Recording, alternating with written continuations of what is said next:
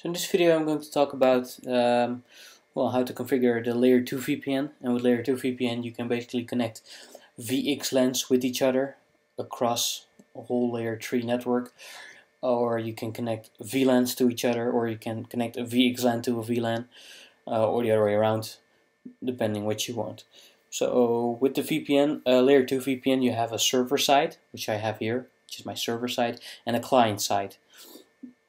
Um, and well, the goal is to have two networks that have the same subnet stretched that clients in that subnet can reach the other side.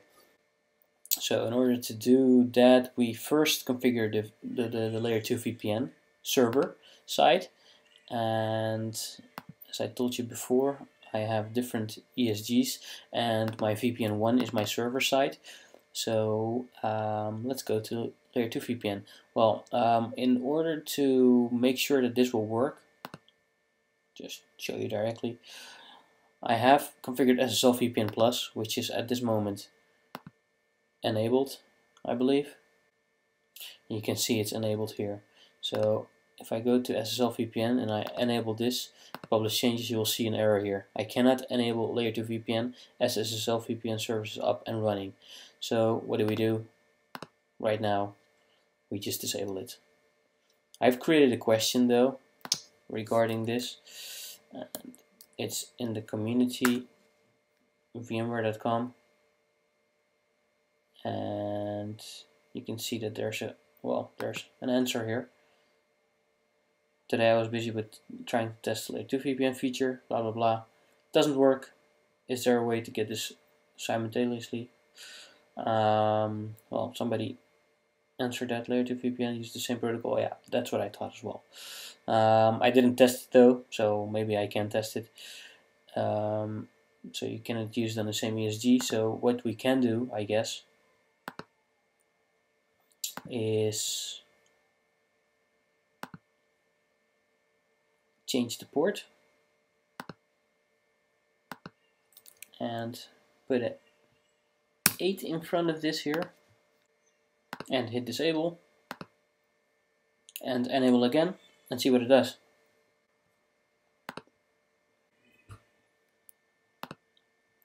And well first before I'm going to actually hit enable I first want to show you that well I've selected the server here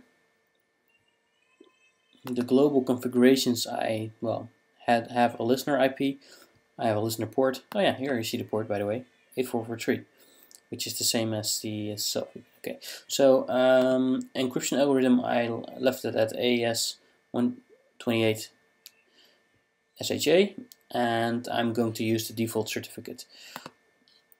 So um, this is going to be the rest of the configuration of L2VPN and as you can see here I've already done uh, I enabled the peer site I called it layer 2 VPN um, my user is also layer 2 VPN my password and uh, the, the confirmed password was also layer 2 VPN L2 VPN uh, right now it's blank but I already configured it.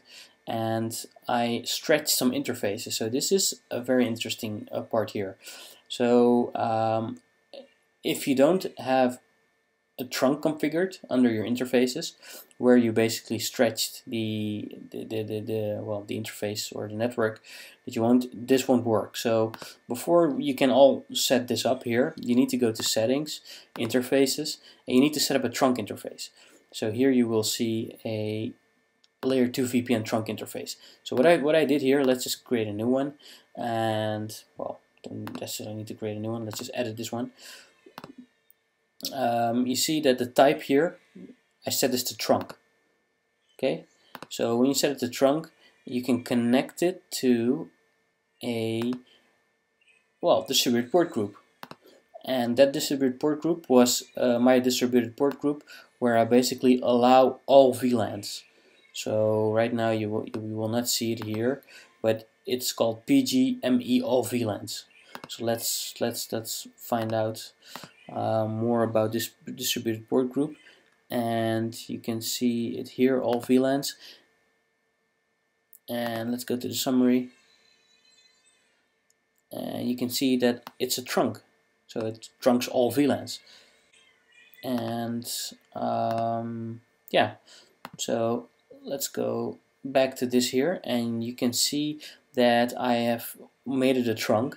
And I can uh, create sub interfaces. So this one of my sub interfaces is is is going to the application uh, logical switch. So this is the logical switch, and well, I can edit it here as well. And you can see that I've assigned this IP address 192.168.12.200, which is in that logical switch network. Um, uh, I've well, I've assigned that IP address. So the tunnel ID is one. Um, it's a network. I've selected the logical switch app, and that's it. So I've created a sub interface with an IP address, and well, I've put it under the well trunk interface. So let's hit cancel right now. So I've done this right now. So I've created a sub interface in the trunk, so I can create more sub interfaces here. Uh, if you want to stretch more networks, of course. Well, I will, will, won't do that right now.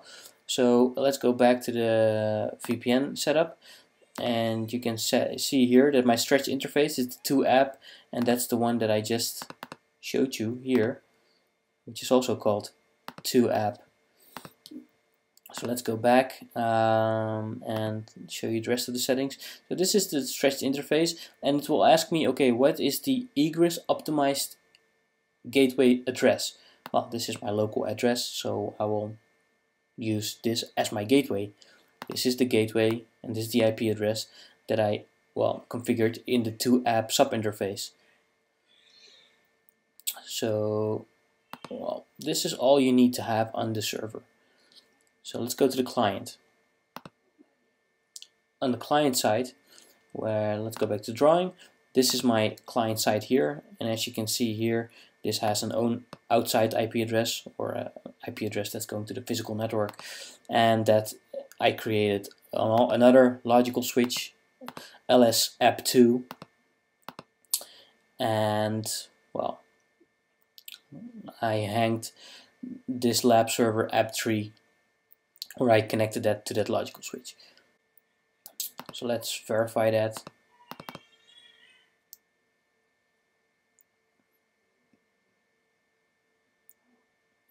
And let's go to the interfaces. You will see a layer 2 trunk here as well.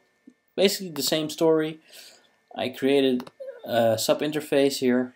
Well I connected it first to a, to a VDS interface that allows me to well trunk all VLANs then a sub interface with an IP address. Um, let's see what that IP address is which is the 192.168.12.253 here and that's the, the IP address where this well lab uh, or app server is talking to or uses as its gateway. Um, and let's hit cancel you can see that this is pretty much the same but then the other way around on this side of the, of the, of the network. Um, let's go back to VPN layer 2 VPN and you can see that I've configured as a client.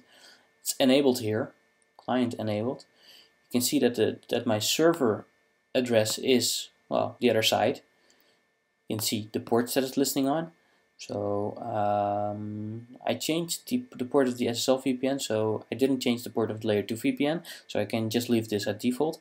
Uh, you will see the encryption algorithm that I want to use, the stretched interface, etc. etc. So you can change these things all around here user ID that I've selected well it's just the local user ID that I that I uh, configured on the server with the password.